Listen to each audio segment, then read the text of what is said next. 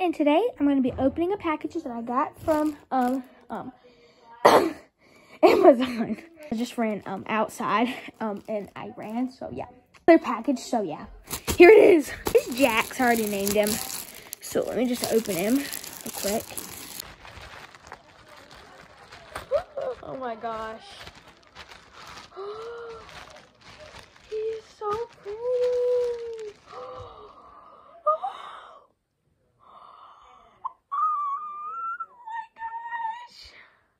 Oh my gosh, his nose.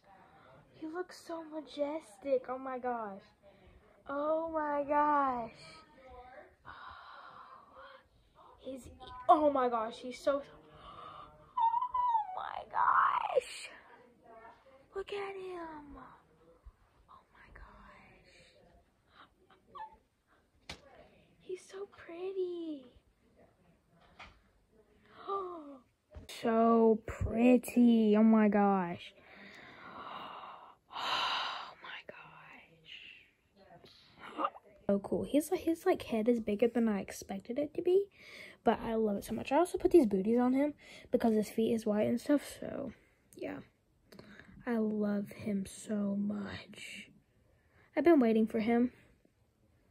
So yeah, I love him so much. So, I love his tail. I can't, say his tail. Here's his tail.